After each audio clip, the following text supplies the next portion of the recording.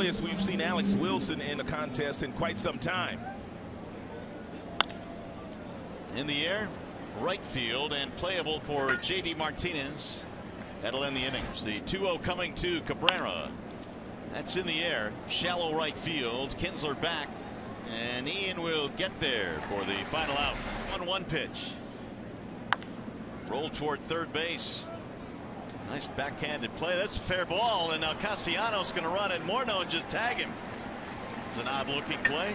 Hey, Ryan's did a nice job in the variety of roles that he has pitched in in the bullpen for the Tigers. A 3.44 ERA.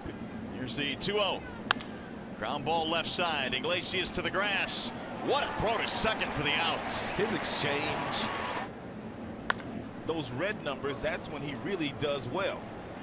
Sky to right center. It's deep out there. Collins runs it down here.